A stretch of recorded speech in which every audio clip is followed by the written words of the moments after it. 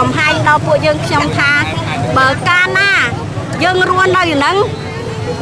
គឺបងខ្សាច់បលិចជំហានទី1ពួកយើងខ្ញុំឃើញច្បាស់ហើយថា នៅក្នុងរាជធានីភ្នំពេញយើងនឹងមានការអភិវឌ្ឍដោយតំបន់ដីក្រហម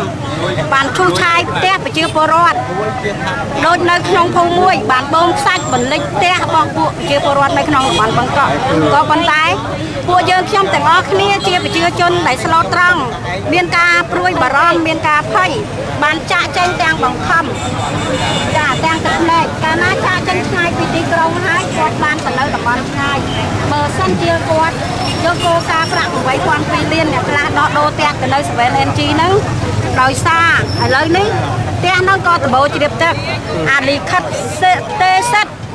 ក៏បានបញ្ចាំទៅធនាគារសេលីដាអស់ហើយ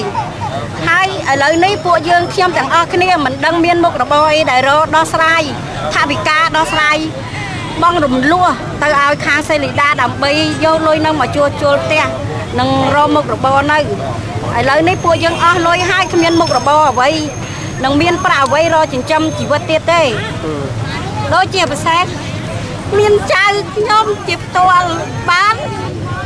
ទៅដល់ទីកន្លែងនោះមានទឹកបបរលាណាខ្ញុំមិនមានលុយទេដឹកមកប៉ែតចៅខ្ញុំក៏បានឈឺចុះប្រជាជនដែលនៅផ្សេងទៀតដែលគាត់ក្រ គាត់គ្មានលុយបើកាលណាតំបន់ពី 7NG នឹងមកក្រុងលុត្រាតែមានលុយថាវិការពី50000បានមកដល់ក្រុងចង់ស្គាល់ក្រុងបន្ទីបំផុតពួកយើងខ្ញុំដែរគោរពច្បាប់នេះដើម្បី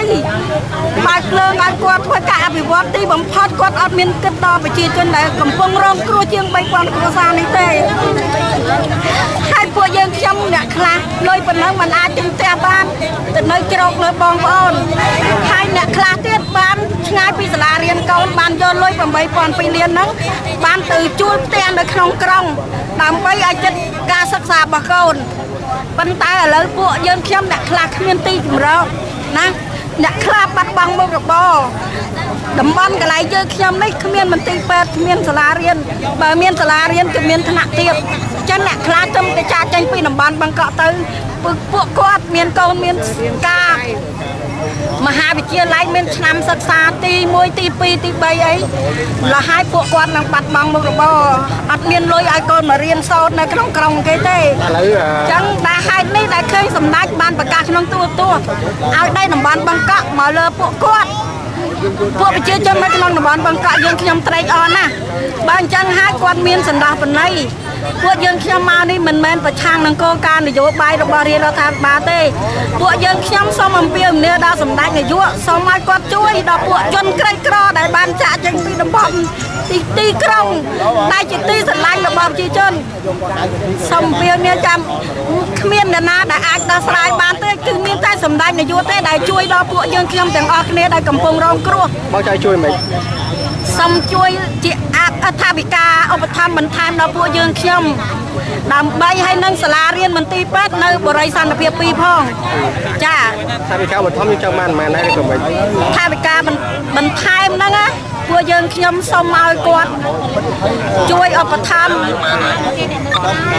ស្មើគេដែលអ្នករស់នៅក្នុងក្រុងដែលនៅក្រៅហ្នឹងគេគឺបានតម្លៃខ្ពស់ប៉ុន្តែពួកយើងមិនចង់បានខ្ពស់ទេសូមឲ្យតែពួកយើងនឹងមានមុខរបរហើយ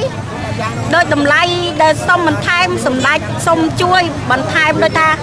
ពីកោការអីឲ្យពួកយើងខ្ញុំដើម្បីមានមុខរបរដើម្បីយកលុយហ្នឹងទៅដោះស្រាយលួចផ្ទះលួចសំបែងដែលគាត់បានបញ្ចាំជួសជុលចាពួកយើងខ្ញុំនៅតំបន់ហ្នឹង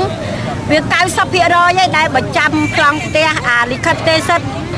ហើយពួកយើងទៅរស់នៅគ្រប់ទីកន្លែងមិនទាន់មានអាជ្ញាធរណាទទួលស្គាល់ថាជាប្រជាពលរដ្ឋនៅតំបន់នោះឡើយ ព្រោះអីយើងចាក់ចេញគ្រប់ទីកន្លែងអ្នកខ្លះបានទៅនៅខេត្តព្រះវិហារអ្នកខ្លះបានទៅនៅមណ្ឌលគិរីក៏ចេះកំពង់ឆ្នាំងត្រូវទៅគ្រប់កន្លែងហើយជាពិសេសនៅជុំវិញក្នុងក្រុងយើងហ្នឹងដោយសារគាត់ទីទាល់គ្មានដីគ្មានធ្លីអីទាំងអស់ដែលចាចេញទៅចាជួលផ្ទះគេចា